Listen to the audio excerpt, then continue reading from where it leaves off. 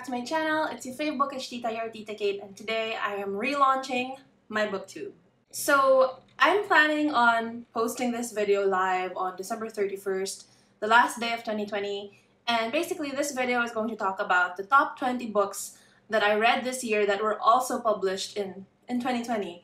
But I also wanted to use this video to sort of announce that I would be relaunching or rebranding my booktube with the goal of being a little bit more purposeful of what I post on my YouTube. I don't want my booktube channel to just be full of hauls, TBRs. I want it to be more of a channel where you can go to get recommendations for different genres, different tropes or whatever, and even occasionally things like book reviews and bookish makeup looks and even journaling videos and things like that. I wanted my booktube to be a little more thoughtful, a little more insightful, rather than just being a repository for all of the books that I get in the mail, that I buy, that I receive as gifts from friends and loved ones. I also wanted to be a little more organized in terms of my schedule of uploading, so I am planning in 2021 that I will be regularly uploading videos once a week on Fridays. So hopefully I can stick to that schedule. And I'm also wanting or aiming to have more cohesive looking thumbnails and thumbnails that are a little bit nicer than what I usually do because usually I just like take a picture, slap a title on it, and then that's it. But I want my thumbnails to be a little bit more attractive, more interesting, more eye-catching so, you know, I can get some views, I also want to try to make my videos a little bit more accessible by using my local language a little bit more. So in the year or so that I've been on BookTube, all of my videos have had me speaking in English. And that's not a bad thing. I am bilingual. I do, uh, English is not my first language. As some of you can tell, sometimes there are moments where like I pause and I have to think about what I want to say because the first phrase or word that comes to my mind is Tagalog, which is my first language. So I thought I would sort of not do that anymore on my booktube videos. I mean, I would still make an effort to speak in English so that others who are not Filipino, who may not understand my language, can still watch and appreciate these videos. But if I feel like a concept is better explained in Tagalog, or if my first thought to describe something about a book or whatever is in Tagalog, then I'm not gonna stop myself. And one of my biggest goals really this year is to have a video where the language that I'm primarily using will be Tagalog. And of course, I'm going to subtitle it and include closed captions for users who don't speak Tagalog, but really it's been a goal of mine for the longest time to have a video where I, you know, speak naturally, like how I would talk with friends who I meet here every day my my real life friends my boyfriend my family. So using that mix of tagalog and english that leans more toward tagalog. So i really want to have a video like that up on my channel. One of my inspirations in regard to that is the booktuber gerald who is one of my dearest friends and he's completely unapologetic about the fact that he's a filipino booktuber. His videos are frequently in tagalog the English is just, you know, peppered throughout there, but mostly his videos really are in our local language. And I really admire that about him. So it really is my goal this year to have a video where I only use Tagalog or primarily Tagalog. So I'm going to start working my way up to that video by not censoring myself when the first phrase that comes to my head is Tagalog. So I wanted to start off my rebrand of my booktube channel by bringing to you guys the 20 top books that I read in 2020. So these are all books that were published this year, I read this year, and they absolutely blew my mind and made it to the top of my favorites list. This list is a mix of genres. Some of them are fantasy, some of them are mystery thrillers, but absolutely all of these books I rated five stars and I absolutely 100% loved them. I really highly recommend that if you haven't read these books yet, you really should go and get on it, get those books and enjoy. First is one of my most recent reads, and that is Sweet on You by Carla de Guzman. This is honestly the first Christmas romance that I've ever read.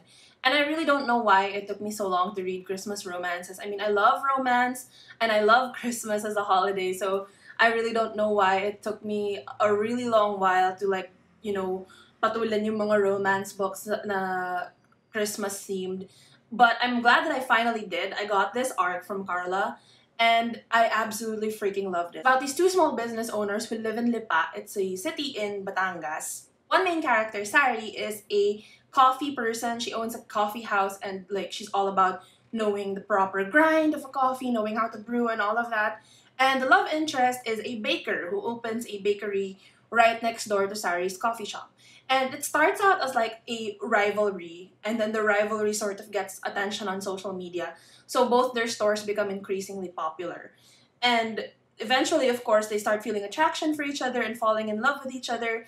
But then the love that they have is sort of strained by the fact that the baker, our uh, main, our love interest Gab, the baker, actually has a deal to like open his bakery in a mall. And Sari, who is very vehemently against like, you know, malls and the stepping over of, of small businesses, finds herself like not agreeing with Gab's decision. So that's where the conflict comes in. This book is really, really cute. Like I said, it's a Christmas themed romance. It takes place around Christmas time and it features a lot of very distinctly Filipino Christmas traditions like the hanging up of the parol, which is a kind of star-shaped ornament, usually very huge, that Philippine families hang in their houses to celebrate Christmas. And then it also features Simbang Gabi, which is a religious practice where Filipinos attend Mass for several days in a row.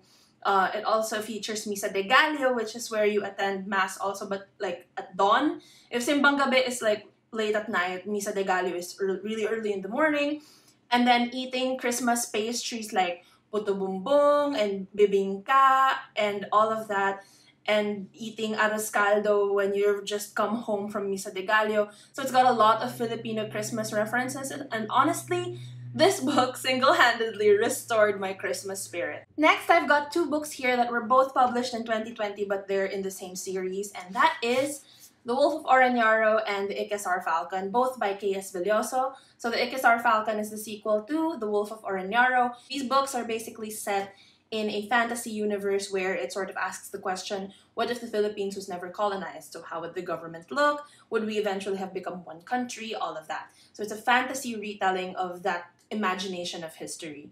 And the main character, Queen Talyien, finds herself crowned the Queen of Jin-Sayeng but her husband has left her and he's run off to like her political enemies but she now but now she tries to bring him back for the sake of her son and of course the sake of her own feelings. And it's a really really great exploration of both your identity as a woman and your relative place of privilege when you're part of the ruling class of a country. So it's really really great. I really really loved it. It's so in-depth. And if you're sort of aware of how the situation with farmers is going on in the Philippines, like farmers are always being abused here by the police, by the army. So these books really are a great way of looking at that. And that is not an accident because K.S. Villoso, the author, is Bicolano and uh, and descended from a, a traditional farming family. So she really put in the effort of like researching the nuances of that particular issue and you know writing it into a fantasy book. I cannot sing the praises of these two books enough.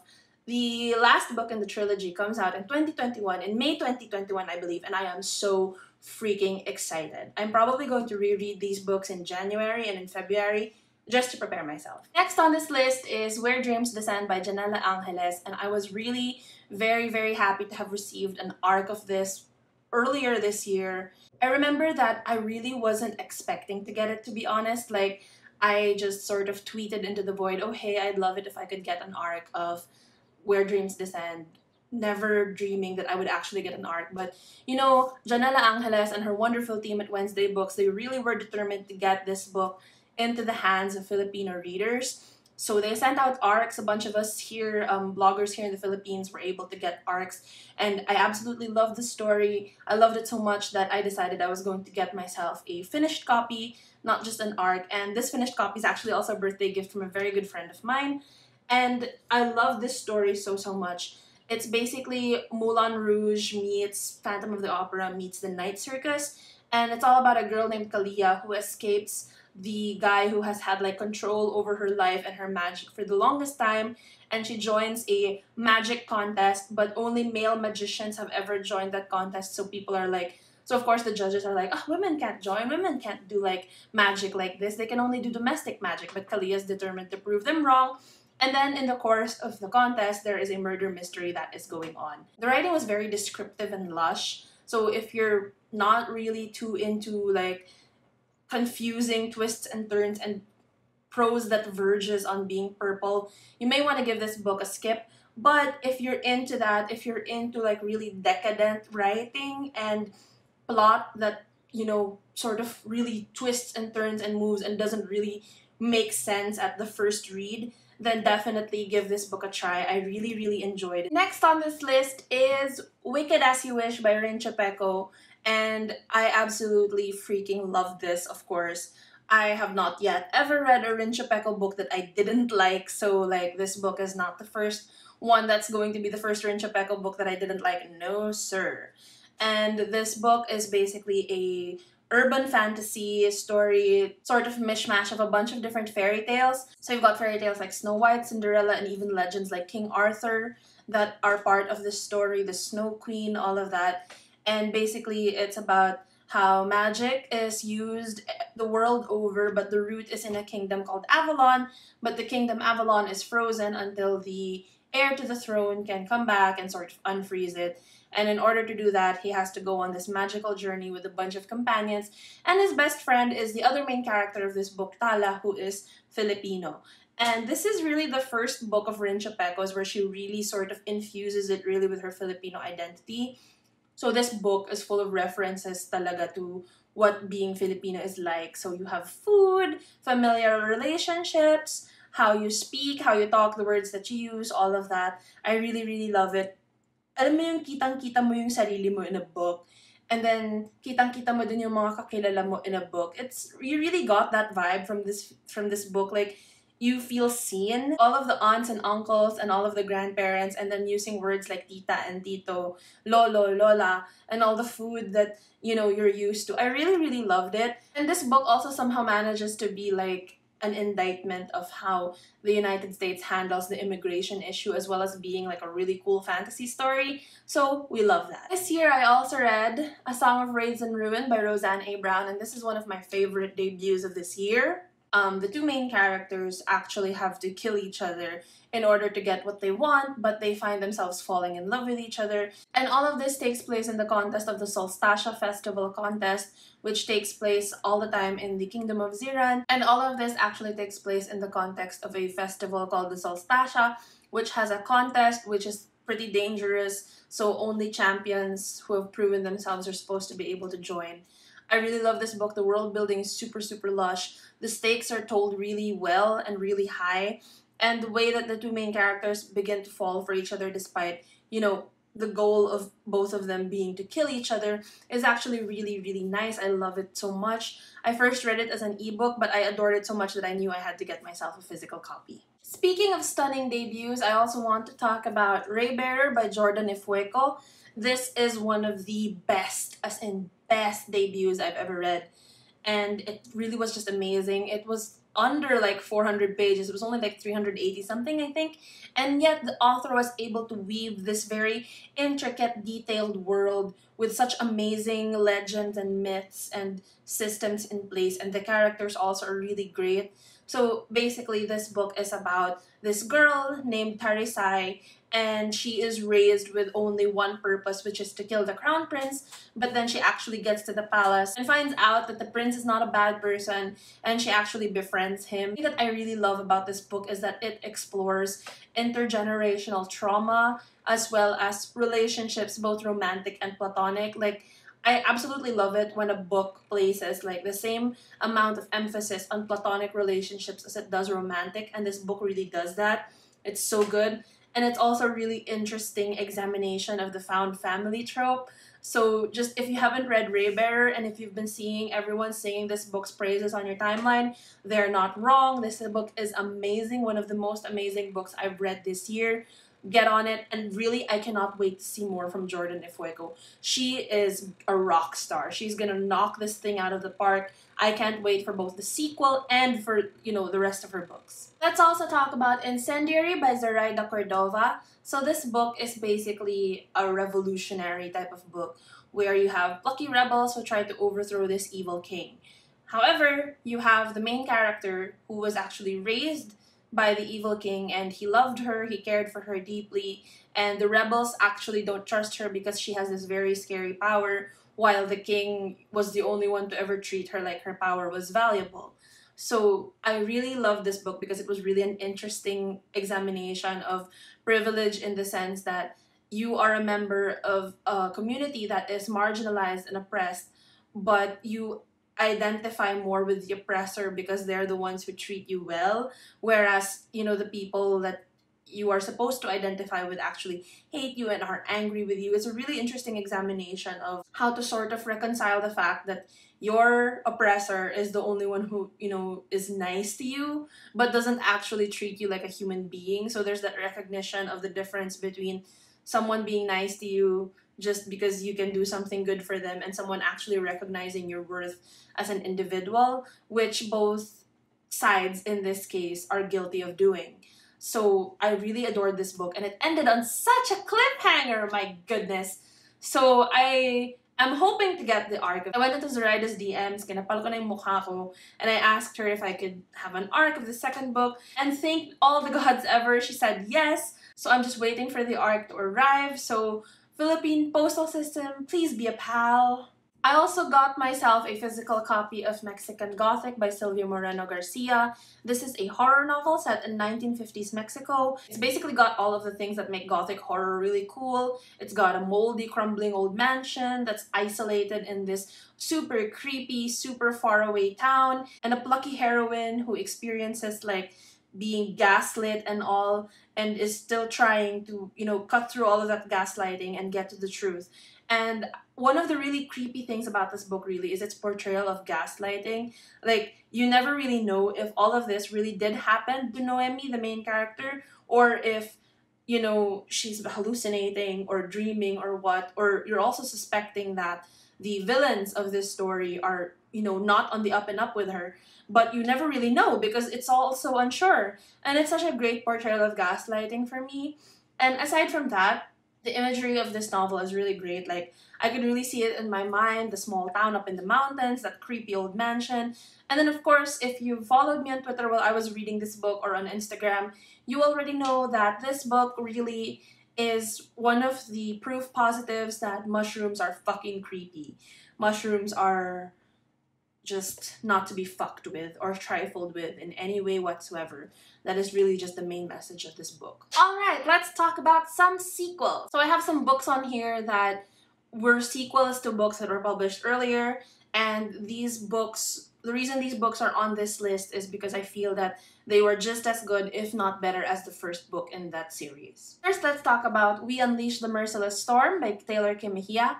And this is the sequel to the book We Set the Dark on Fire. So it's another revolutionary book. This duology is FF Romance, which of course we adore. And the first book is from the POV of Dani. This one is from the point of view of Carmen, who, as we find out by the end of We Set the Dark on Fire, is actually a revolutionary agent and a spy from the organization known as La Voz, which is determined to bring down the dictatorship.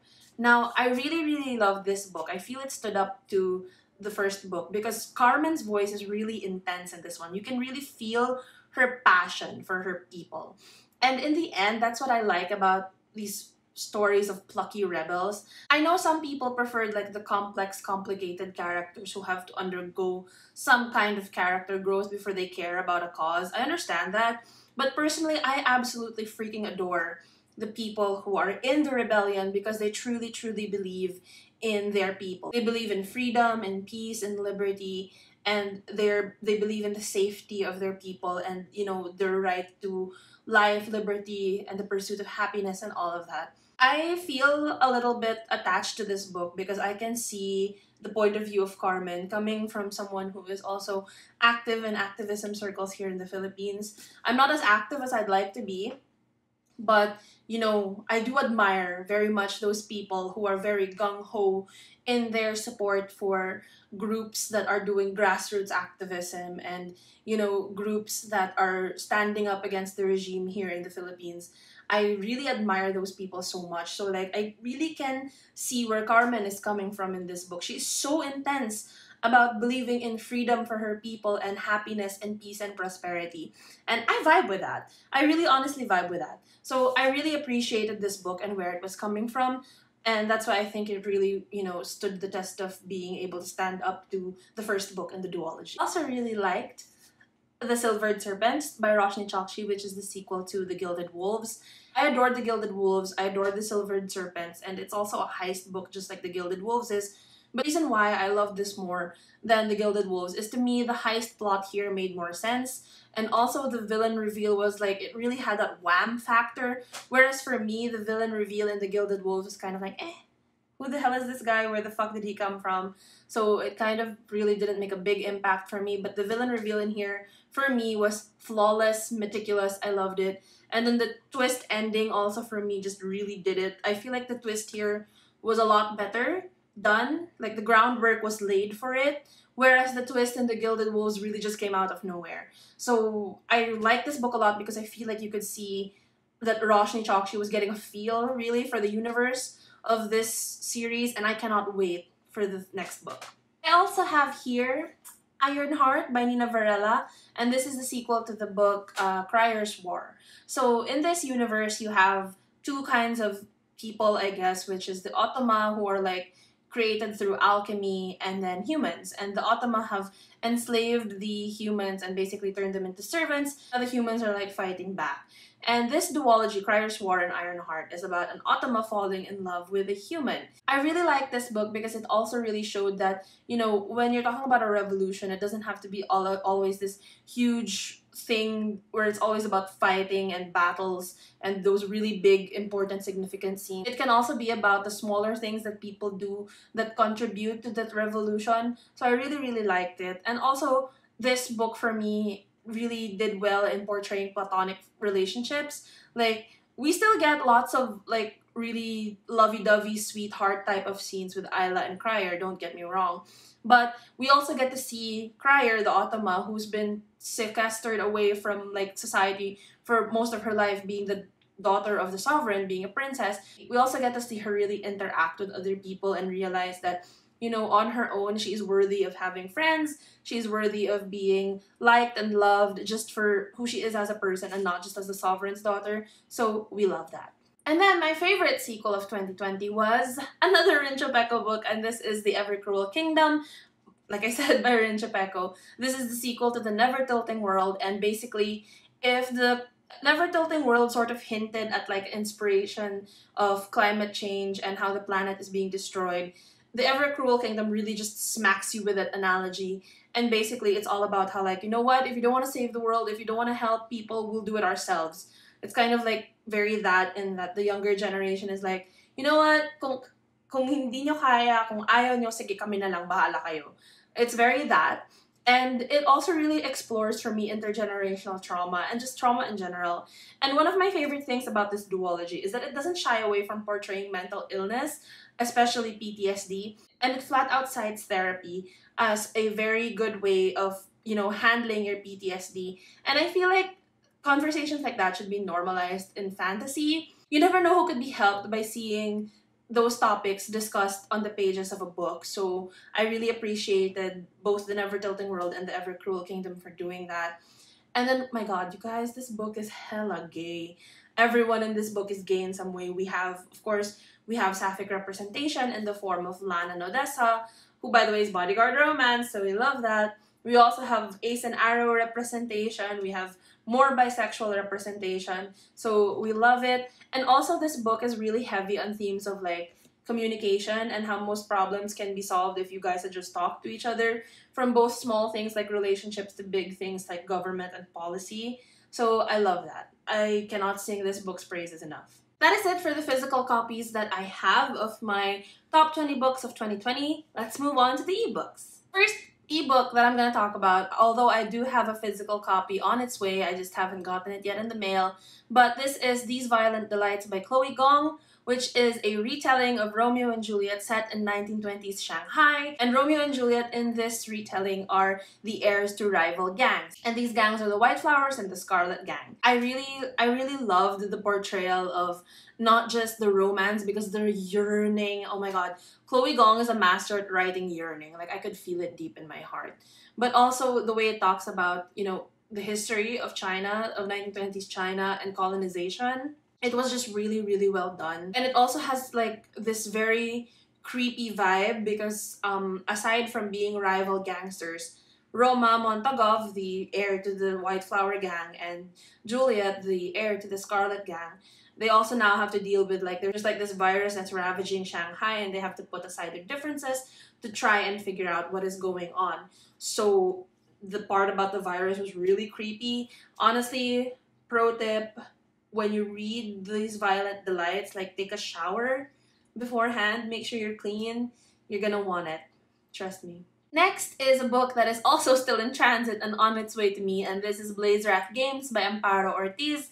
And this book is basically like a sports book but with dragons, which I love. All sports books should have dragons. The main character of this book wants to play Blaze Wrath, which is her favorite game to watch and to play. And it's basically like, I hate to use a Harry Potter reference, but it's basically like if Quidditch were played with dragons.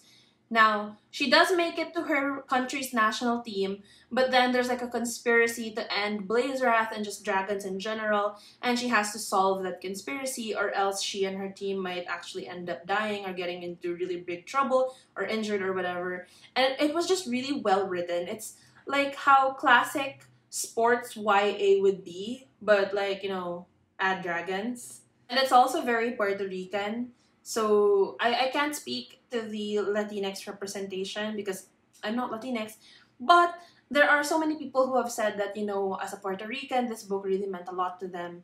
So I'm very happy to see that it filled that need.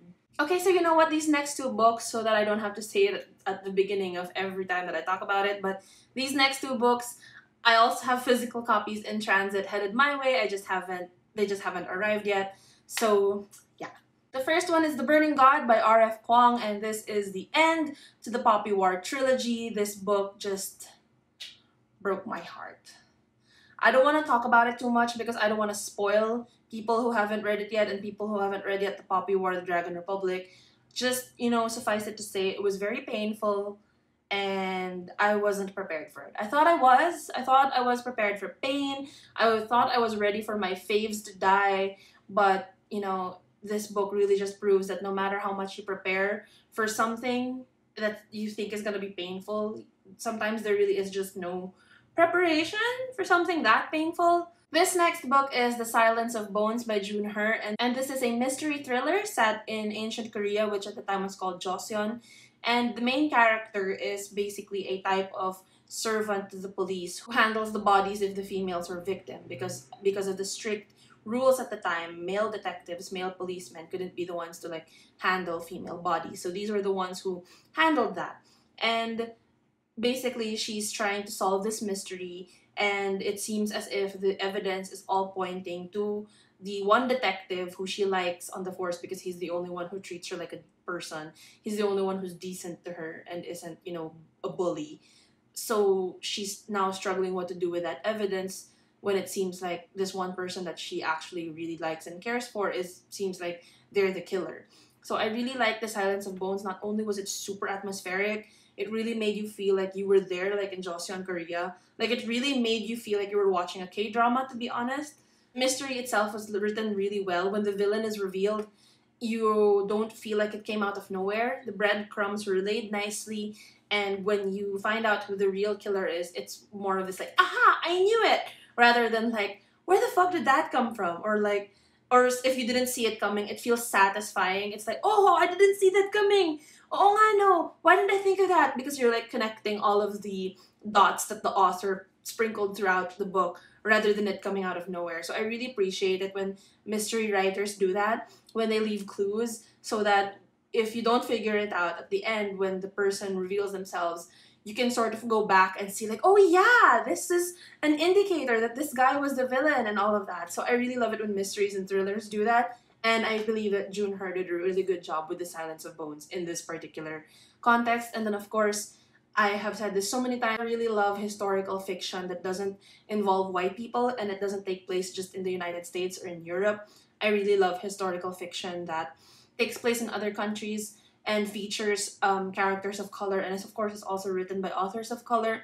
So i love that for the silence of bones. Speaking of mystery thriller and horror i also really enjoyed the only good indians and this book is basically like a supernatural horror story about this group of kids who go on a hunting trip and they kill an elk and then when they get older they become adults the spirit of the elk actually haunts them.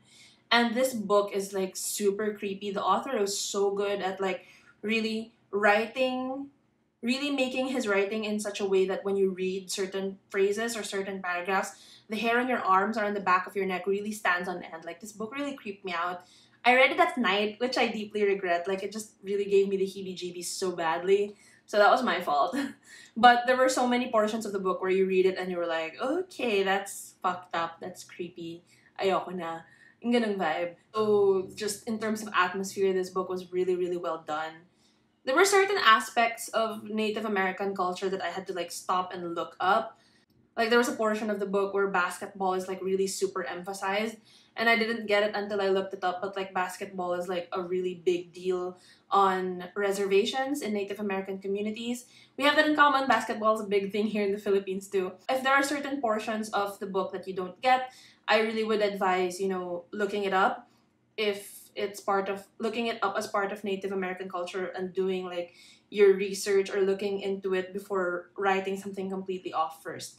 Because this book is really written, you really get the vibe from this book that it was really written with a Native American audience in mind. And you have to keep that in mind if there's parts about the book that you don't understand. Honestly, just this book was just really good. It was really spine tingling, skin crawling, every description that you can think of, like this existential dread type horror the Only Good Indians really was able to master that. And just so that I don't end this video talking about creepy books, let me also talk about the last two books on my list, which are both romances. And the first one is Keeping Miss Kalila.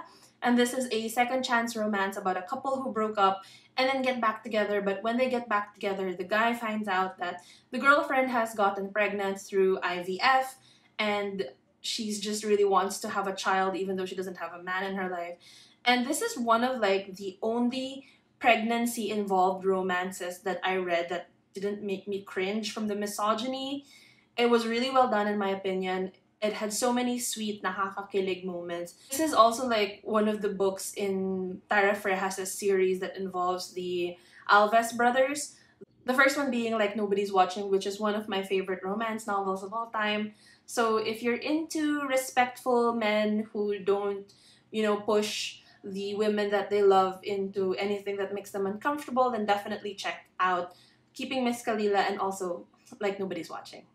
And lastly is the book You Had Me at Hola. I really loved this book. It's basically about these um, telenovela stars who end up falling in love with each other as they play a couple on their TV show, which is going to be turned into like a streaming TV show put on a streaming platform rather than just your regular telenovela and I really I have a soft spot for telenovelas, you guys. Like they really were the TV that I would come home to from school and watch because that's what would be playing at that time of the day. I really loved it. We had like local versions of all of the classics. We had a local version of um, Rosalinda and Thalia and Marimar and all of that. So I really loved getting to see it in a book form and I really also loved all of the representation. It was a very unapologetically Latinx book. Also tackles issues like attachment or abandonment issues as well as PTSD.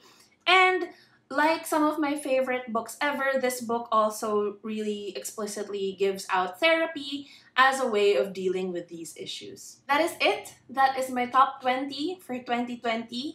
If you've read any of these books, Leave a comment, tell me what you thought. If you haven't read any of these books yet but you do want to, also leave me a comment. If you want to talk about what you read this year, what you really enjoyed this year, leave me a comment. I would love to chat. Don't forget, tomorrow my new self-hosted website launches. So I am now at yourtitakate.com. I no longer use a WordPress free account. I have officially gone self-hosted. I have a domain and everything.